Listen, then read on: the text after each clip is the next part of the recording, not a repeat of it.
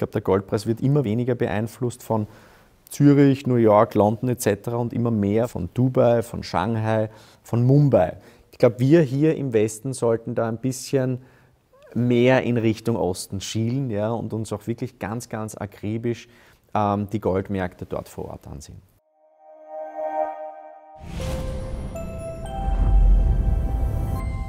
Hallo und herzlich willkommen bei Filoro TV. Ich bin Joachim Brandl. Schön, dass Sie wieder mit dabei sind.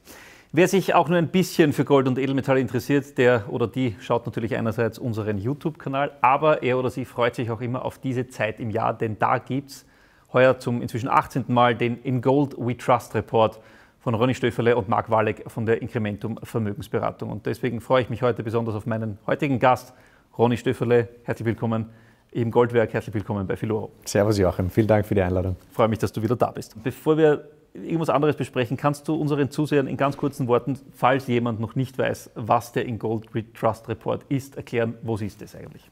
Das Wall Street Journal hat einmal geschrieben, es ist der Goldstandard des Gold Research. Ja, da haben wir uns natürlich sehr gefreut. Es ist der wahrscheinlich längste, ja, vollumfänglichste ähm, Goldreport der Welt. Es ist hoffentlich, das ist zumindest unser Anspruch, auch der beste.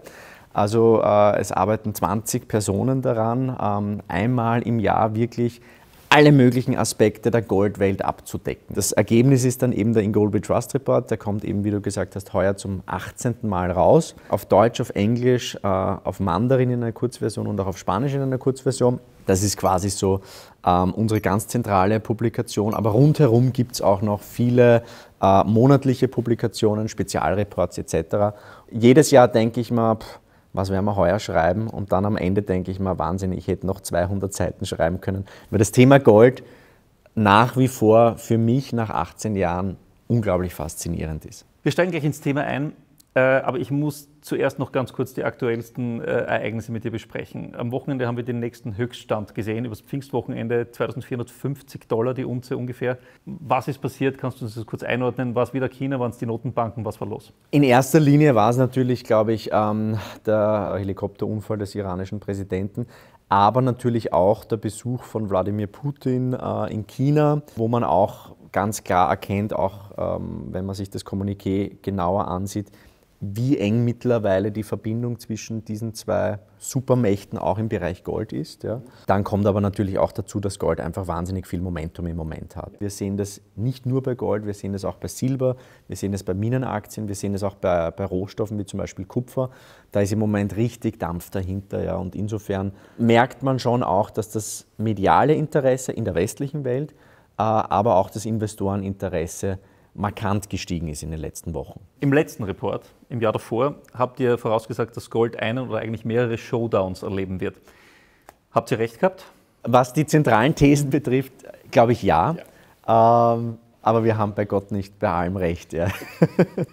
ich glaube, der ganz wesentliche Punkt ist, wir haben gesagt, es gibt einen geopolitischen Showdown, ja, also so diese Entwicklung zwischen eher saturierten Industrienationen, ja, die ein bisschen mit, mit, mit Problemen, Demografie, äh, zu viel Schulden, äh, zu wenig Wachstum kämpfen und auf der anderen Seite die hungrigen Schwellenländer, ja, die sehr goldaffin sind, ja, die meistens auch ein bisschen jünger sind von der Demografie, wenn man jetzt von China absieht, äh, wo wirkliches Wachstum vorhanden ist, wo die Sparvolumina auch äh, sehr hoch sind.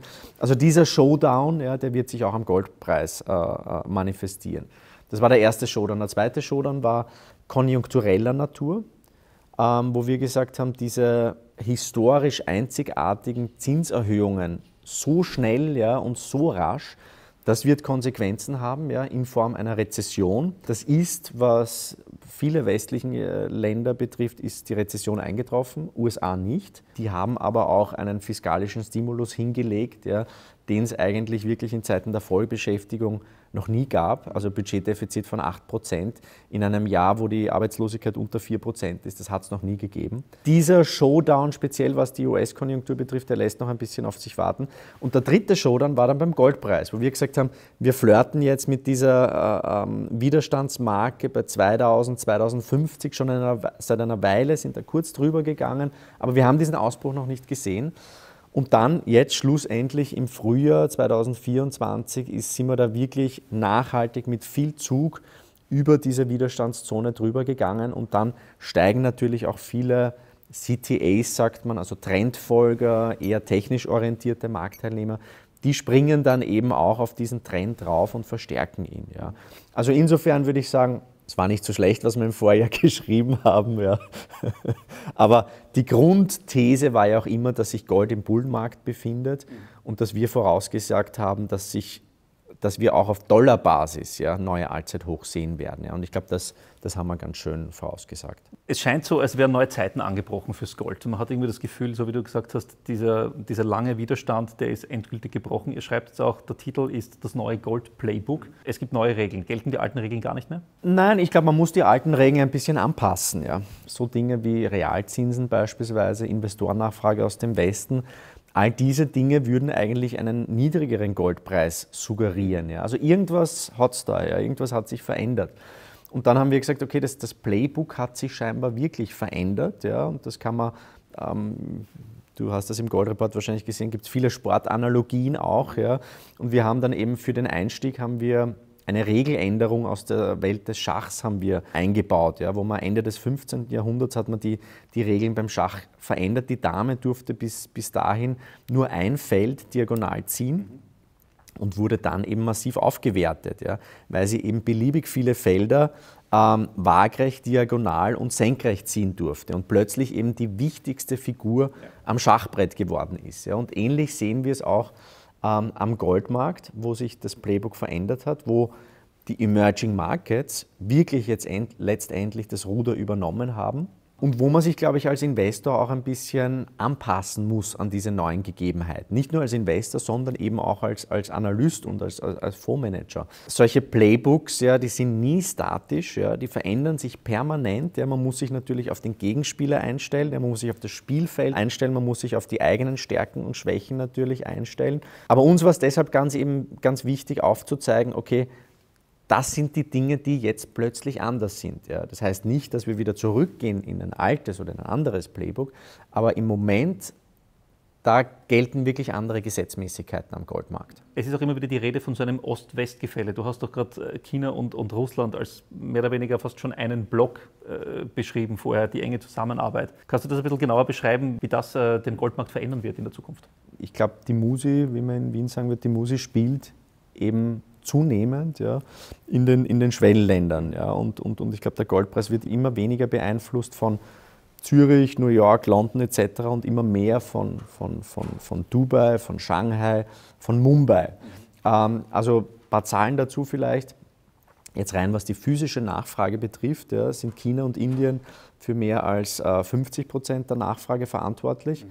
Ähm, wenn man jetzt noch Russland, einige äh, kleinere Emerging Markets und vor allem ähm, äh, den arabischen Raum dazu zählt, ja, ist man bei knapp zwei Drittel bis 70 Prozent der physischen Nachfrage. Der, der, indische Markt ist beispielsweise wahnsinnig preissensitiv. Ja, da sieht man jetzt auch wieder, dass verstärkt auf Silber umgeschwenkt wird, ja, dass weniger gekauft wird, auch unter anderem, weil jetzt gerade Wahlen sind in Indien. Das hat sicherlich auch einen Impact.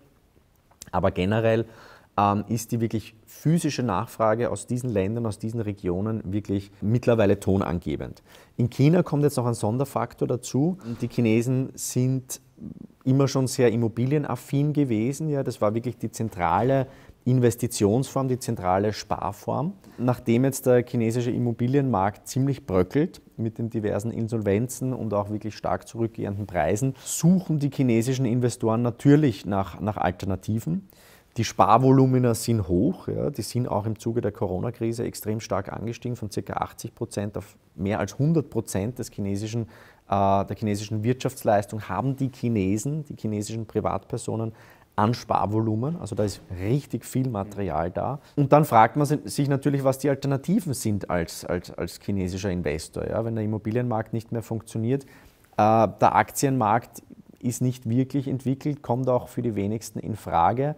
Ähm, Bitcoin, Kryptos etc. Äh, jetzt auch nicht wirklich. Und dann landet man relativ schnell beim Gold. Und ähm, deshalb war sicherlich der Tropfen, der das das Goldfass zum Überlaufen gebracht hat, war sicherlich die chinesische Privatnachfrage, aber auch die People's Bank of China, also die, die chinesische Notenbank, die jetzt 18 Mal in Folge, also 18 Monate in Folge Goldkäufe vermeldet hat. Das ist natürlich auch ein bisschen ein Statement an die westliche Welt. Ich war im letzten November war ich in Dubai, habe dort einen Vortrag gehalten und dann ein, ein Seminar für, für Goldhändler aus, aus der Region.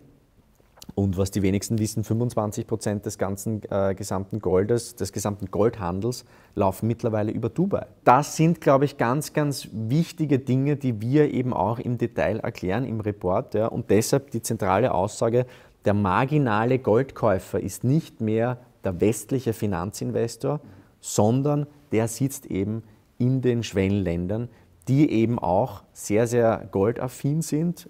Äh, in Indien gibt es 21 verschiedene Wörter für Gold. Ich glaube, wir hier im Westen sollten da ein bisschen mehr in Richtung Osten schielen ja, und uns auch wirklich ganz, ganz akribisch ähm, die Goldmärkte dort vor Ort ansehen. Du hast jetzt gerade in einem Nebensatz Bitcoin erwähnt ähm, und es kommt auch im Report vor, es wird immer mehr als, als Wettbewerber zum Gold eigentlich angeführt. Man spekuliert immer so ein bisschen, ob jetzt quasi die Wachablöse kommt, ob Bitcoin Gold auch irgendwann den Rang ablaufen könnte. Wie schätzt du das ein, ganz kurz? Ich weiß, es gibt da im, äh, in der Goldszene gibt sehr, sehr viele Kritiker, aber es, man merkt auch, dass man dass da ein bisschen ein Umdenken stattgefunden hat. In erster Linie natürlich jetzt auch, wo die ETFs in den USA zugelassen wurden. Das heißt, es gibt quasi keine Rechtsunsicherheit mehr. Beide Assets, beide Währungen sind de facto ähm, nicht beliebig vermehrbar. Beim Gold ist es eben so 1,6 Prozent. Das ist eben das, das Angebotswachstum jedes Jahr relativ konstant.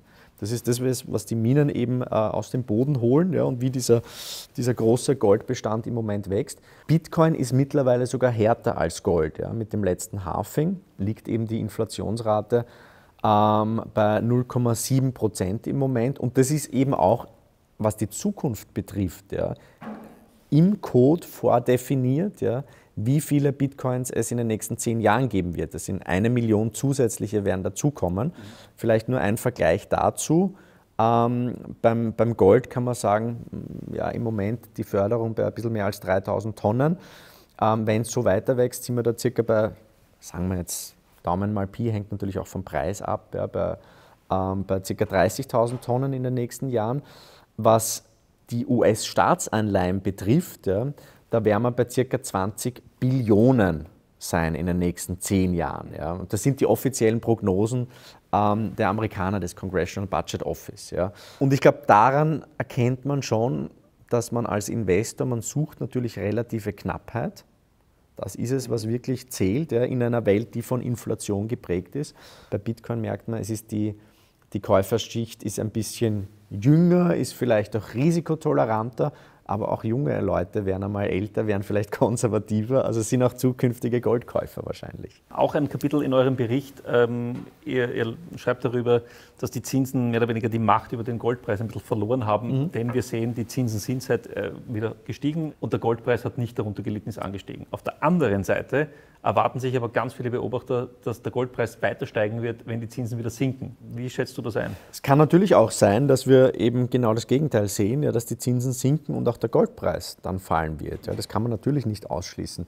Der westliche Finanzinvestor, ja, da muss man sich eben nur anschauen, äh, wie sich die, die, die ETF-Flows entwickeln. Also sage ich mal, Fonds kaufen können oder dürfen Gold gar nicht physisch oft kaufen, ja, sondern müssen das in Form von ETFs machen, Exchange Traded Funds. Und normalerweise hat man immer einen sehr schönen Gleichlauf gesehen. Wenn der Goldpreis gestiegen ist, hat man auch Inflows gesehen bei den ETFs. Ja. In den letzten zwei Jahren ist da aber ein ziemliches Gap aufgegangen. Ja. Also das, da, da gibt es wirklich eine, eine, eine große Diskrepanz. Und das zeigt einfach, dass für die westlichen Finanzinvestoren Gold im Moment nicht attraktiv ist. Ja. Ähm, und das bedeutet wahrscheinlich auch, dass viele westliche Finanzinvestoren inhärent diese Annahme haben, dass quasi die Inflation besiegt sei, dass die Zinsen dann auch wieder fallen werden, aber wahrscheinlich auch, dass keine Rezession kommt. Ja? Also so dieses Soft Landing oder man nennt es jetzt auch eben Never Session. Also wir werden immer weiter wachsen, ja, ohne dass es zu einer Rezession kommt. Das ist ein bisschen so die, die, die Konsensmeinung an den Kapitalmärkten. Ich werde ein bisschen vorsichtig. Ja. Die US-Konjunktur läuft absolut, aber speziell relativ zu Europa sehr, sehr gut. Aber bei solchen Budgetdefiziten ist es auch nicht verwunderlich. Das ist so, wie wenn ich äh, fünf Red Bull und sieben Espressi trinke, werde ich wahrscheinlich auch wach bleiben. Ja. Aber es ist langfristig keine sehr gesunde Vorgehensweise. Ja. Und ähnlich ist es eben mit diesem extrem, extremen fiskalischen Stimulus. Und wir merken jetzt schon auch, dass diese Grenzen der Schuldentragfähigkeit, die werden langsam äh, erreicht. Das haben in den USA beispielsweise die zweite große Ratingagentur hat jetzt ähm, äh, das US-Rating abgestuft. Das Schlagwort war Anything but Bonds oder wir haben, schreiben im, im Gold Report von einer Debondization. Die Investoren wachen auf und sehen schon, heute das ist keine langfristig ähm, nachhaltige Strategie, die da bei den, äh, auf Ebene der Staatsfinanzen passiert. Und wenn man sich da eben die Entwicklungen anschaut, dass vielleicht auch eine, eine Staatsschuldenkrise, so wie wir es vor einigen Jahren eben in den PICs ja, gesehen haben, also in der, in der, in der, in der Eurozonenperipherie, in den mediterranen Ländern, das kann auch in den, in den klassischen Industrienationen früher oder später passieren. Und das merkt man schon auch zunehmend bei vielen Investoren. Ja. Also lange Rede, kurzer Sinn, ich glaube, eine Rezession wird früher oder später passieren. Ja. Was passiert da normalerweise? Es werden die Zinsen gesenkt. Ja.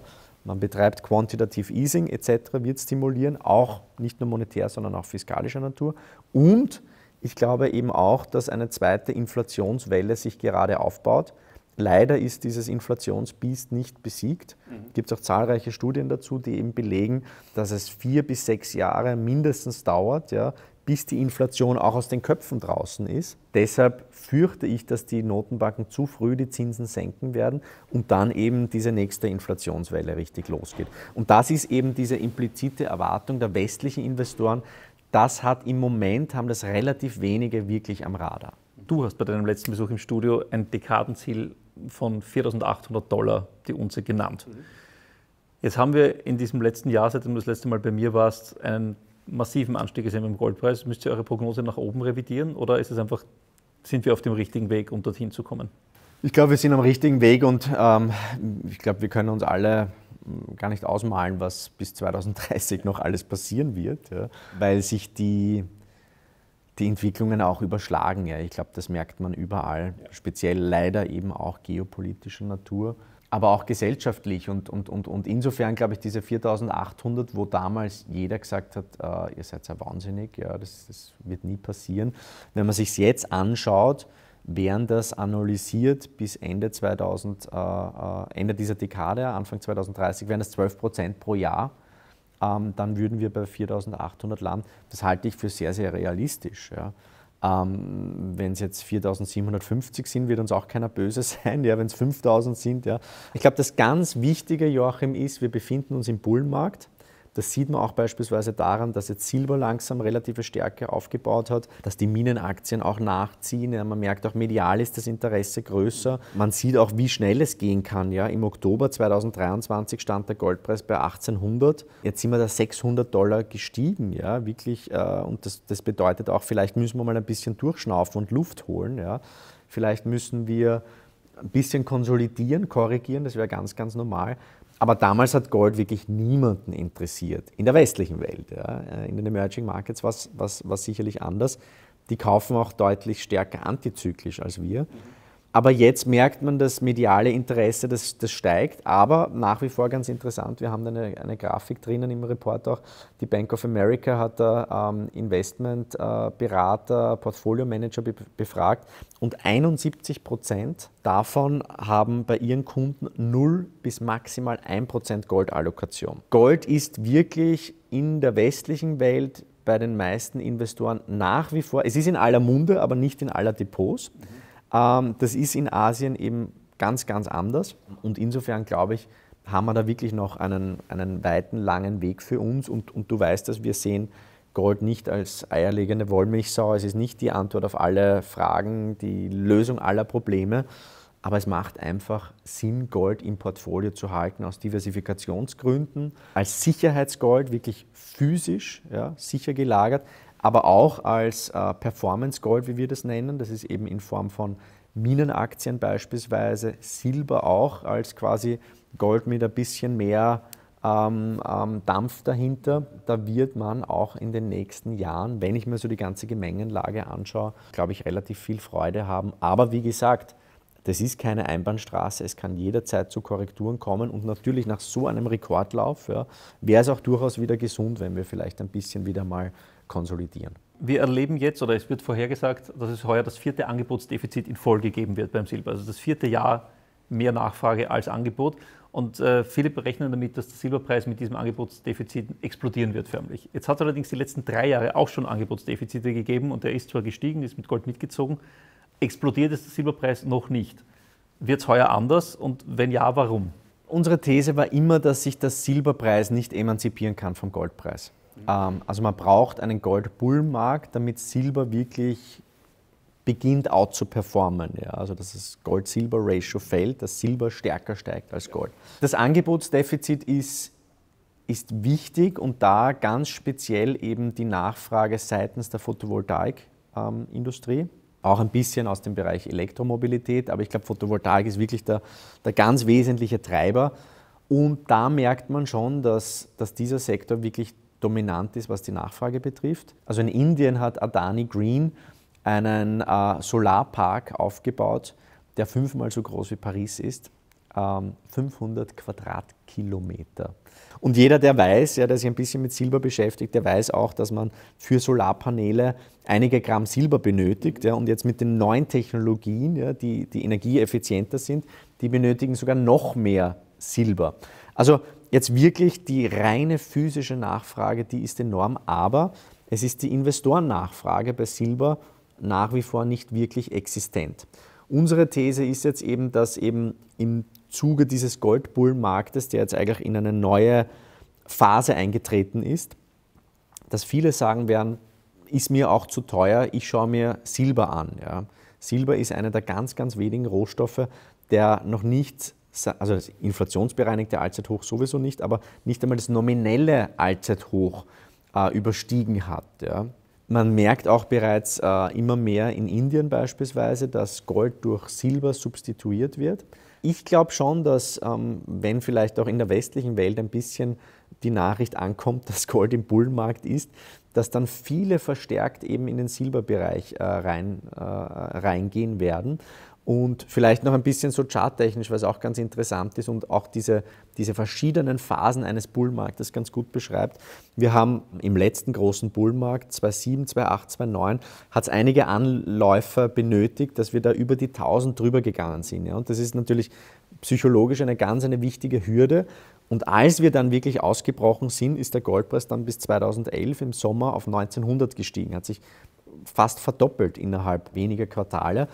Und bei der 2000 war es eben auch so. Wir haben da fast vier Jahre sind wir, haben wir konsolidiert und jetzt dieser impulsive Ausbruch. Und in diesen impulsiven Phasen, da war es eigentlich historisch immer schon so, dass Silber Gold outperformt hat.